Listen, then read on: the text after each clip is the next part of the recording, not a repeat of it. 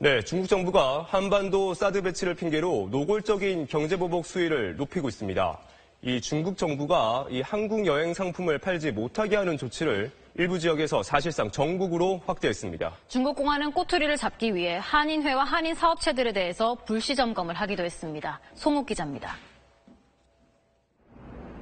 중국 관광당국인 국가여유국은 어제 상하이시와 장수성 등 중국 동부지방의 여행사에 7개 항목의 지침을 내렸습니다.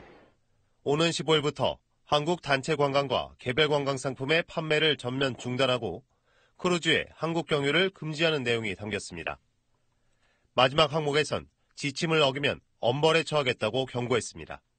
어, 엄중하게 처벌하겠다는 메시지가 전해진 것 같아서 큰 행사일수록 노출이 잘 되는 행사들은 일단 뭐 모험을 하지는 않을 것 같아요.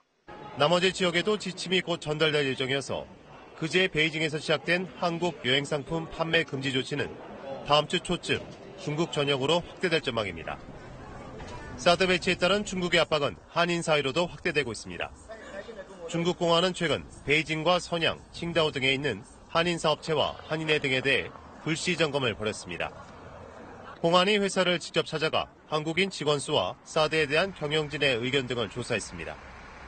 이번 점검은 한국 기업의 동향을 파악하라는 지시에 따른 것으로 알려졌는데 기업의 대출과 입출금 내역 등도 조사 대상에 포함된 것으로 전해졌습니다.